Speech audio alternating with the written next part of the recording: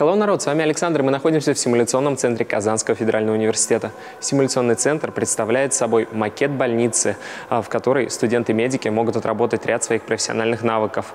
Я, как журналист-экспериментатор, сейчас попробую ну, что-то, что называется здесь самым простым, но я уверен, для меня покажется очень сложным.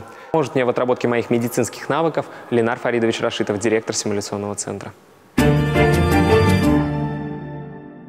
Рядом со мной сейчас находится Ленар Фаридович Рашитов, директор симуляционного центра, который э, сейчас нам и покажет, э, что он нам покажет, он лучше скажет сам, потому что я не понимаю, передо мной лежит какой-то манекен, у него видно легкие, у него не хватает передних зубов. Рассказывать, что сейчас будем с вами делать и как его спасать.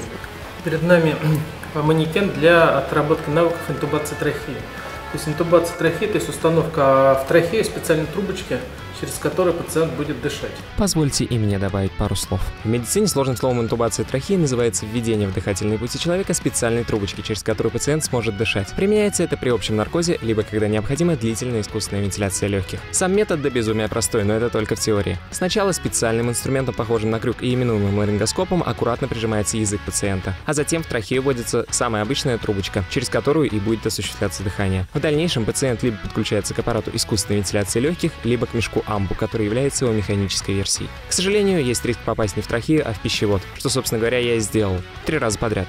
Да, не быть мне анестезиологом. Можно я тоже попробую? Так, как, как вот эта штучка открывается? Просто, Просто... защелкивается, загорается лампочка. Угу. Не надо подостать с этой стороны, потому что с мы должны стороны. в пот. Ага. Запрокинуть голову. То есть угу. инструмент держится в левой руке. В левой? Так, поднимается язык. Угу. Вот здесь как раз нажимать не надо, иначе вы как раз собьете зубы. Вроде бы я куда-то попал, осталось выяснить куда.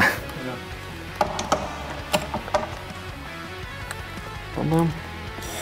Угу. Пищевод. Пищевод. Это надо делать очень быстро, потому что в этот момент пациент угу. не дышит. То, то есть это вообще прям вот да. жизненно важно. Да это не мое. Это очень сложно для меня оказалось. Во-первых, э, требуется огромное физическое усилие, чтобы поднять э, пациенту язык, а во-вторых, ну, попасть это тоже сложненько.